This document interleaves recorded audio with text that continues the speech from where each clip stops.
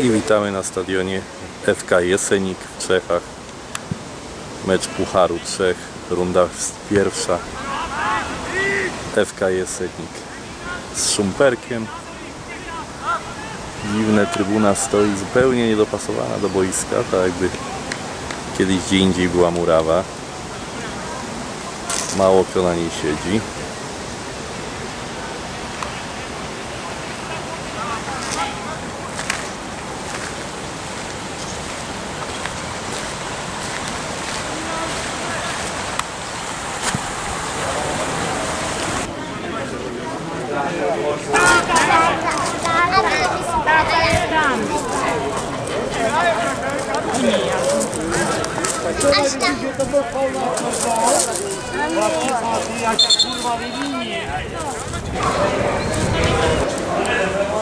Jesteśmy na trybunie dosyć dziwnie usytuowanej pomiędzy dwoma boiskami. Jednym, na którym toczy się mecz i drugim z sztuczną murawą. A ta trybuna po środku.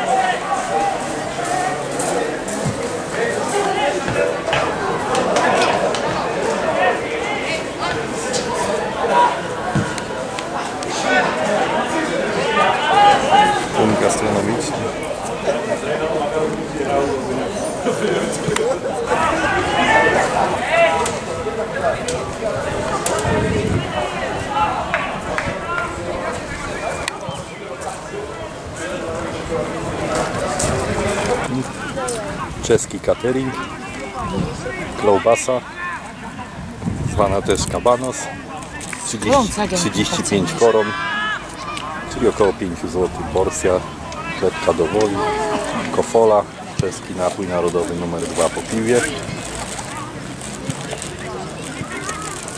Wszystko upieczone w tym oto kominie.